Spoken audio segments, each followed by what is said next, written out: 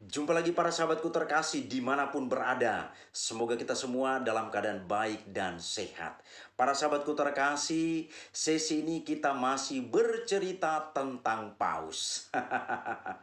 dan saya beri judul, beberapa pendeta dari wilayah timur Indonesia depresi berat karena takut kehilangan jemaatnya. Para sahabatku terkasih, saya secara pribadi seorang tokoh atau figur dari agama mana pun itu datangnya, kalau tokoh atau figur itu bicara tentang hal-hal yang baik, membawa ketenangan, kesejukan, kedamaian bagi banyak orang demi tercapainya bonum komune atau kebaikan bersama, maka saya e, membanggakan figur itu. Jadi terlepas dari agama mana, yang penting kehadirannya di sana menginspirasi banyak orang untuk hidup lebih baik. Para sahabatku terkasih, kehadiran Paus Fransiskus di Indonesia beberapa waktu yang lalu memberikan dua efek penting. memberikan dua efek penting. Pertama, efek pertama adalah membawa damai bagi banyak orang. Jadi di sana kalau kita perhatikan di berbagai media, tanpa melihat membedakan agama mana pun itu, orang-orang yang menyaksikan kehadiran paus, walaupun itu secara tidak langsung, mereka hanya menyaksikan melalui media, tetapi mereka mengungkapkan ketenangan, kenyamanan, kedamaian secara batin yang mereka alami. Dan itu ungkapan yang tidak dibuat-buat. Karena apa? Itu bisa kita temukan di berbagai media. Bukan hanya di satu media saja. Kalau di satu media saja barangkali mungkin itu dibuat-buat.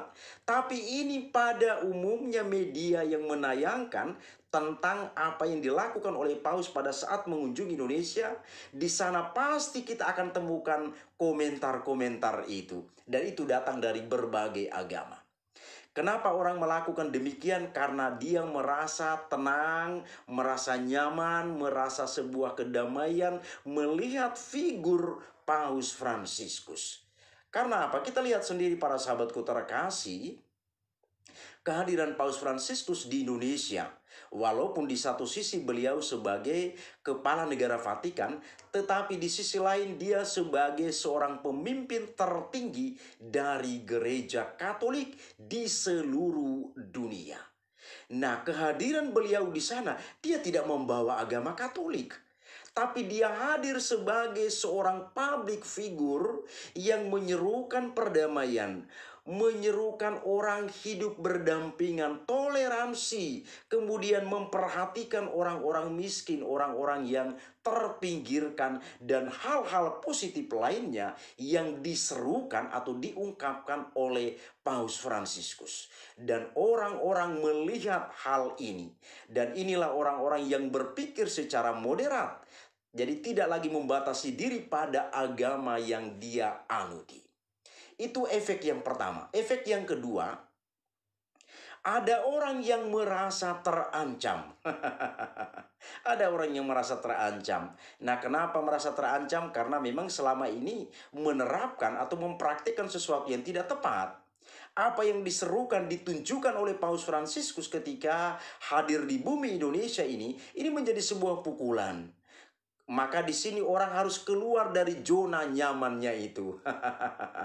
orang harus keluar dari zona nyamannya itu. Termasuk beberapa orang pendeta dari wilayah timur Indonesia juga merasa terancam merasa tidak nyaman. Bro, saya juga dari wilayah timur, bagian timur Indonesia juga. Saya dari Flores Timur dan sekarang tinggal di Medan, Sumatera Utara. Saya juga dari wilayah timur. Jadi beberapa pendeta merasa terancam dengan kehadiran paus ini. Para sahabatku terkasih, rasa tidak nyaman, merasa terancam ini karena barangkali selama ini melakukan sesuatu yang tidak benar dan takut nanti umatnya menilai itu. Hati-hati bro, Anda hidup dari perpuluhan, hati-hati.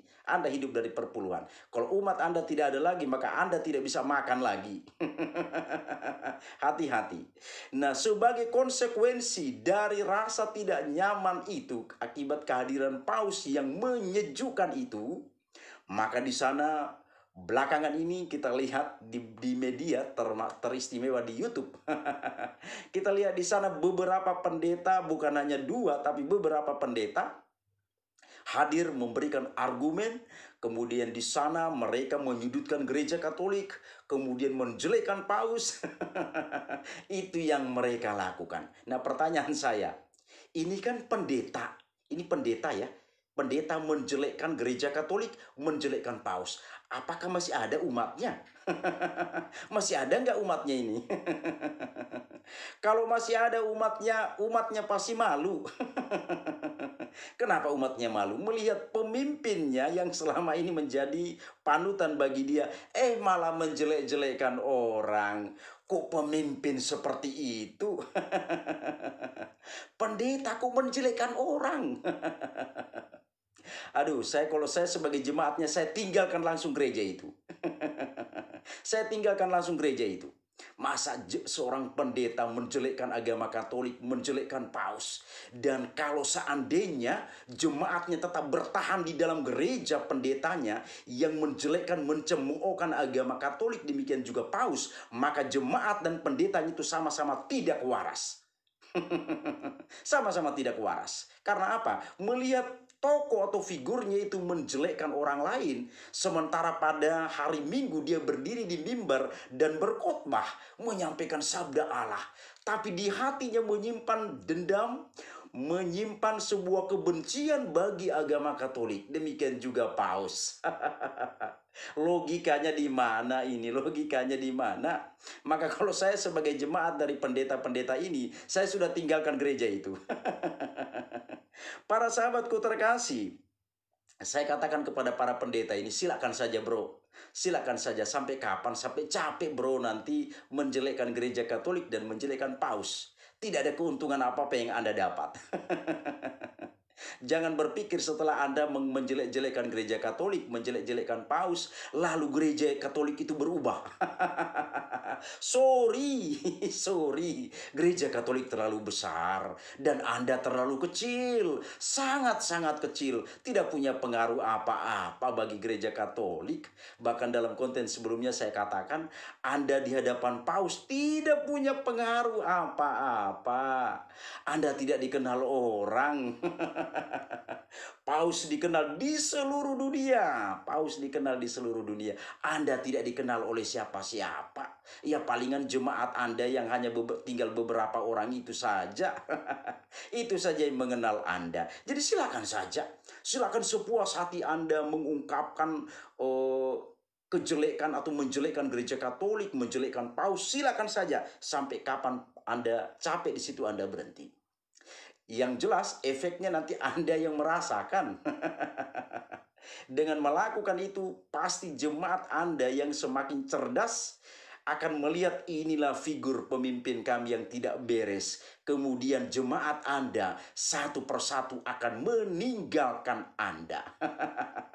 Lihat nanti apa yang terjadi. Jemaat-jemaat Anda akan meninggalkan gereja itu nanti. Dan efek lanjutannya adalah Anda tidak punya pendapatan lagi. anda tidak punya pendapatan lagi. Karena Anda hidup dari perpuluhan, anda hidup dari perpuluhan. Maka hati-hati para pendeta yang yang masuk dalam kategori ini yang menjelek-jelekkan gereja Katolik, menjelek-jelekkan paus, Anda akan menerima dampaknya itu. anda akan menerima dampaknya. Karena memang apalagi memang kita lihat dengan jelas dalam gereja Protestan bahwa kalau sudah tidak nyaman lagi sakit hati dengan gereja A, dia akan keluar dan mendirikan gereja baru. Maka kita lihat di Indonesia ini begitu banyak gereja, begitu banyak nama gereja. Gereja A, gereja B, gereja C. Wow, macam-macam nama gereja itu. Karena seperti itu. Kalau tidak nyaman lagi, rasa sakit hati di dalam gereja itu, dia akan keluar membentuk gereja baru. Sementara dalam gereja Katolik, Anda tahu bagaimana dalam gereja Katolik? Kalau ada sebuah masalah, orang-orang Katolik itu duduk bersama untuk membicarakan masalah itu dari hati ke hati. Itulah anak-anak Tuhan itu. Itulah anak-anak Tuhan itu. Anda Anda lihat sendiri dalam gereja Anda itu Orang sakit hati dia keluar mendirikan gereja baru. Bahkan saya pernah dengar langsung dari seorang pendeta dia marahi anaknya. Dia katakan, kau terus-terus datang minta uang sama saya. Padahal saya sudah dirikan gereja itu, tujuannya adalah supaya dari situ kau bisa hidup. Coba mendirikan gereja modelnya tidak jauh dengan mendirikan sebuah perusahaan. Itulah Anda itu.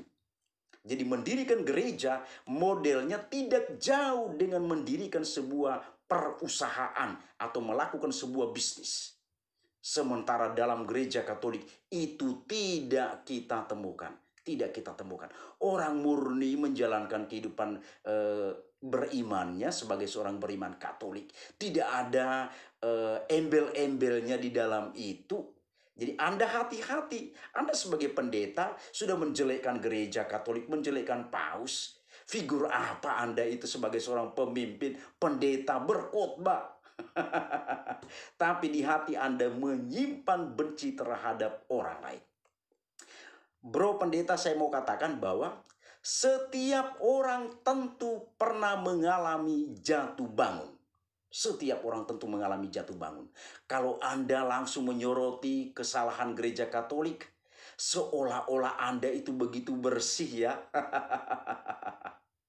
Padahalnya dengan menjadi manusia saja kita sudah berdosa.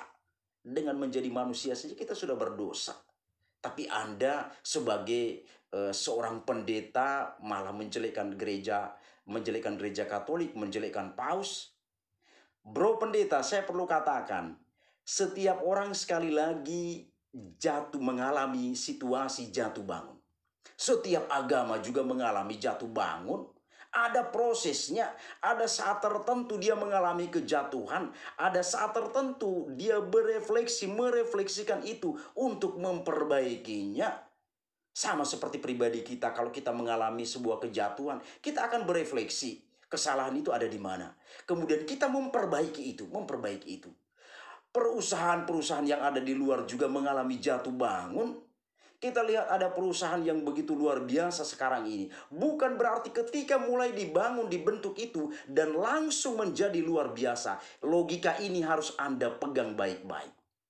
Dan seandainya ada kesalahan gereja Katolik pada zaman dulu, Paus dalam beberapa periode ini selalu berusaha untuk mendialogkan ini. Selalu ada upaya ini dilakukan. Dan ini menunjukkan bahwa gereja katolik itu gentleman. Seandainya ada kesalahan, gereja katolik mengakui bahwa ada kesalahan terjadi di sana. Itulah unggulnya gereja katolik. Jadi gereja katolik tidak menutupi diri kok. Gereja katolik tidak menutupi koreksi dari orang lain, dari pihak lain. Gereja Katolik gentleman dan ini sudah ditunjukkan oleh Paus dalam beberapa periode ini. Paus e, membuat sebuah refleksi, sebuah kajian terhadap situasi yang terjadi pada masa lampau.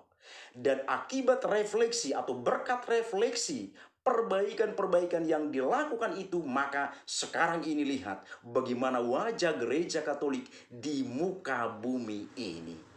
Lihat bagaimana wajah gereja Katolik di muka bumi ini. Orang-orang Katolik ke mana pun dia pergi selalu membawa damai.